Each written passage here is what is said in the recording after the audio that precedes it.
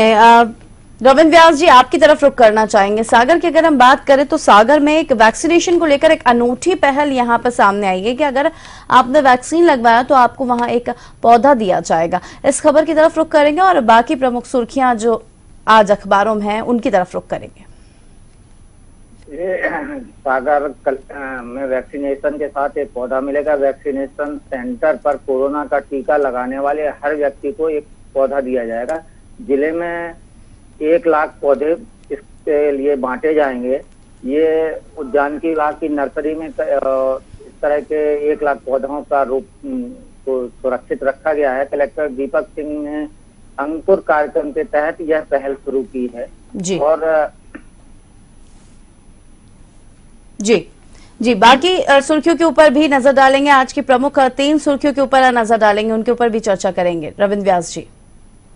एक बड़ी खबर टीकमगढ़ से है जहाँ टीकमगढ़ विधायक और सांसद का विवाद जो है प्रदेश कार्यालय और केंद्र तक पहुँच गया है।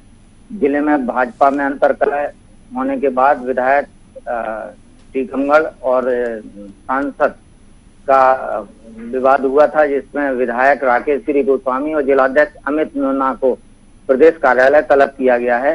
इसको लेके काफ़ी काफ़ी बवाल वहाँ मचा हुआ है।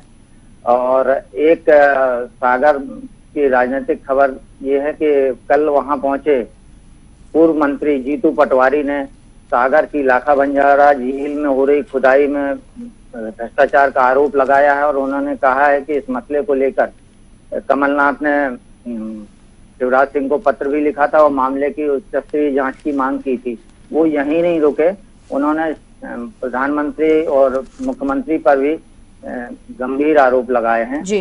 दूसरी दूसरी तरफ़ गोविंद राजपूत ने कल करीब तीन करोड़ के निर्माण कार्यों का भूमि पूजन किया ये सारे निर्माण कार्य ग्रामीण क्षेत्रों में होंगे। उनका कहना यह है कि सुर्खी विधानसभा का कोई भी गाँव विकास में शहर से पीछे नहीं रहेगा। जी। जी चले। बहुत शुक्रिया रविंद्र व्यास जी। गीत दीक्षित